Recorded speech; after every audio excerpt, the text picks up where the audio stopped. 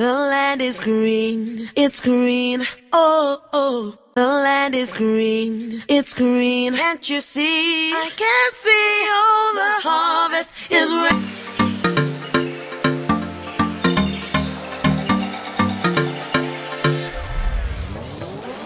You are welcome to my YouTube channel.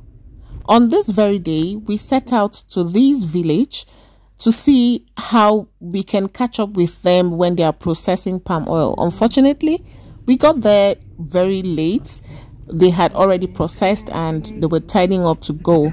If this is your first time here, kindly give this video a thumbs up, watch it to the end and subscribe. Hey guys, how are you doing? How are you doing, my beautiful subscribers? So, as you can see, I am here at the oil mill. This is where palm oil is being produced. I mean the palm oil you all eat. Yes, I know that a lot of you do not know how it is being processed. I am here at the factory, one of the factories around Akwa Ibom State. This village is called what is it called? I'm going to leave the name on the screen so you can know where exactly I am. So guys, let us get in and see what is going on in there. And by the way, I am particularly amazed by the amount of machines I am seeing you all know I am a village girl. I grew with my grandmother and I know how it used to be very tedious back then. Getting to process palm oil, we used to pound on the floor like a big a big hole will be will be dug and it is going to be guarded in such a way that when you put palm fruits it does not escape. That's the oil does not escape. And then we used to select the fruits from the shaft. You know everything used to be done manually but now guys i am so happy that a lot of things are revolutionizing. Please come with me. Let's get to see what they are doing. When we got in here the first thing my eye actually sighted was this pot yeah this pot is actually locally fabricated and that's the palm oil final product. The next thing i sighted were these kits oh my god. My attention was being drawn to this particular machine. Of course you can see it's locally fabricated where the um, chaff from the palm kernel is being separated. This was really amazing to me because back then it wasn't there. You can see the man trying to show me where the chaff and the palm kernel actually come from. these are the final look of the palm kernel. You see back to this kit you see how happy they are doing these things. Seriously speaking i was totally amazed. Back to this particular machine. This machine is a machine that is being used to grind. When i say grind pound. What you would pound you know manually. You see honestly speaking i was totally blown away. In this particular place they also grind cassava and that's the machine over there. You see i'm really intrigued by these kids actually. The way at which they go about what they are doing.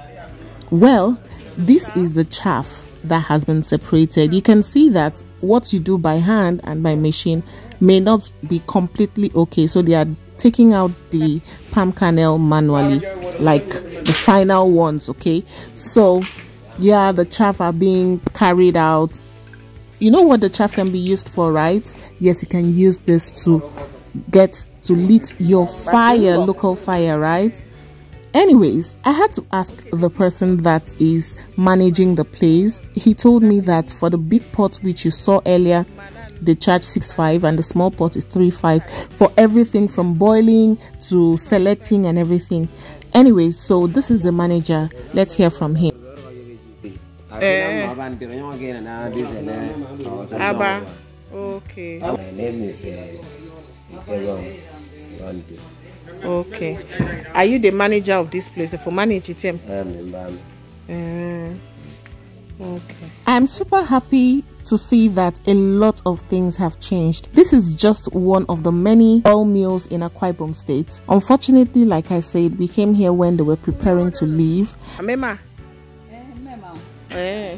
I am so amazed at the fact that things have really really changed. the time i used to stay with my grandmother back then in the village we used to pound and all that. We used to do virtually everything with our hands. A lot of things have revolutionized you know. I am here with reality box. reality box. So very soon you'll be unboxing how you know the present way of you know refine refining uh, palm, Palm oil.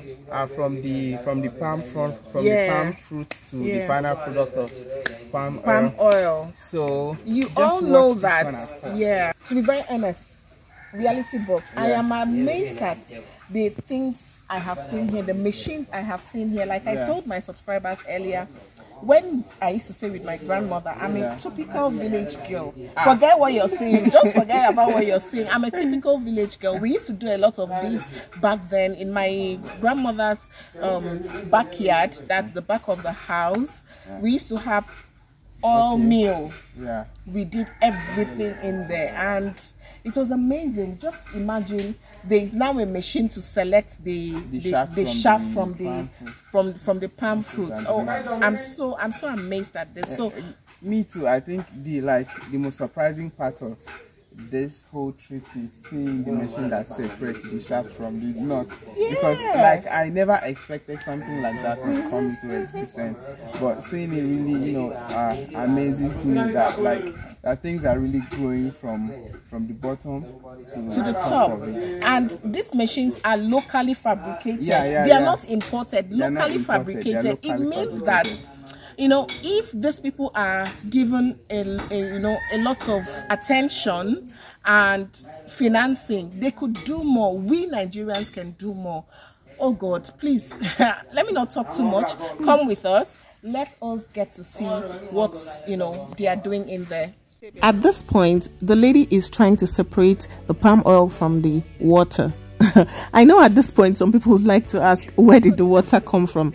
Now, let me tell you, you know, while boiling the palm fruits, okay, you have to boil it with water.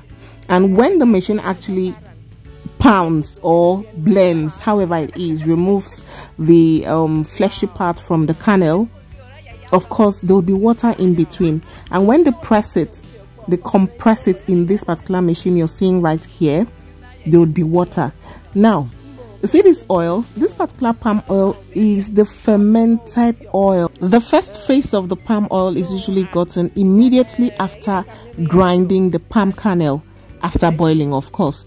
All right so this particular one they will cover the chaff after taking out the first part and allow it ferment for some time. You can see these people right now, they are squeezing the fermented part of that, you know, palm kernel and chaff together.